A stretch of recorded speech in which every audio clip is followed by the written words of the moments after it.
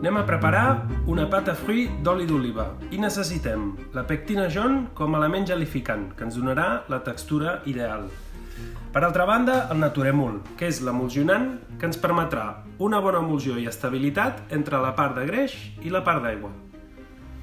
Comencem, doncs, barrejant la pectina en un bol amb 5 parts de sucre. Això ens permet la correcta integració de la pectina dintre del nostre líquid. Barregem bé i continuem escalfant l'aigua a 40 graus. També és una temperatura ideal perquè la nostra pectina s'integri correctament. Afegim poquet a poquet, en forma de pluja, la nostra pectina a dins de l'aigua i anem barrejant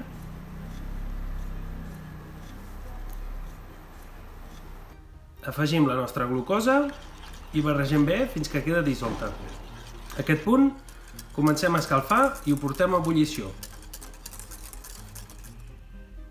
Mentrestant, barrejarem la part del greix, en aquest cas l'oli d'oliva, amb el naturemul, l'àcid cítric i la sal. A poc a poc, fins que quedin ben dissolts.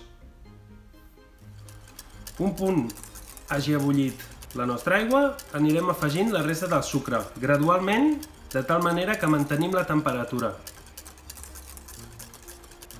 i quan ho tinguem tot ben integrat, ho farem bullir fins a 105 graus.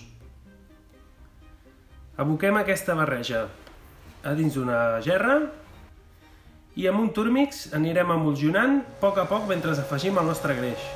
És important evitar que agafi gaire aire perquè quedi una pectina ben llisa i maca.